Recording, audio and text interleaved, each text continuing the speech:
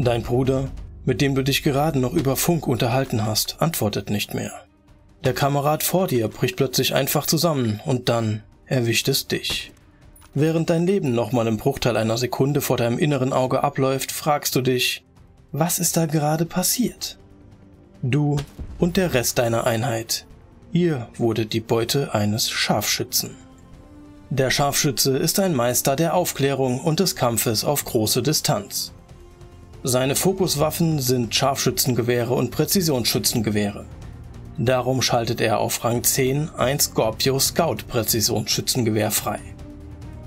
Auf Rang 20 schaltet er seltsamerweise eine MK14 Assault, also eine Sturmgewehr-Variante eines Präzisionsschützengewehrs frei. Aus irgendeinem Grund, den wohl nur Ubisoft kennt, schaltet der Scharfschütze nur ein Präzisionsschützengewehr und ein Sturmgewehr frei und kein Scharfschützengewehr. Die beiden Klassenfähigkeiten des Scharfschützen sind Pferdelunge und Distanzkompetenz. Pferdelunge verleiht dem Scharfschützen initial die Fähigkeit, 50% länger kontrolliert zu atmen.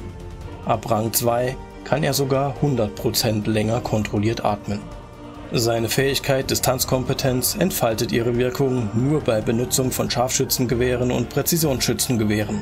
Dadurch kann er initial 5% schneller nachladen und erhält einen 20-Punkte-Boost auf die Handhabung der Waffen.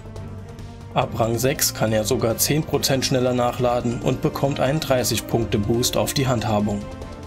Das Klassenobjekt des Scharfschützen ist der Sensorwerfer, mit dem er Sensorgranaten mit größerem Radius über große Distanzen abfeuern kann.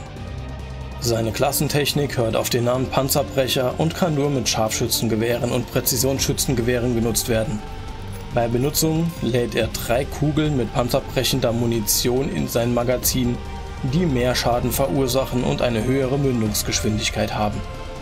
Um seine Klassentechnik aufzuladen, kann der Scharfschütze ganz allgemein Gegner töten, im Speziellen Gegner mit Kopfschüssen töten und Gegner auf große Distanz töten. Außerdem kann er seine Klassentechnik aufladen, indem er Schaden an Drohnen verursacht. Wie kannst du den Scharfschützen nun richtig spielen? Ganz einfach. Bleib auf Distanz.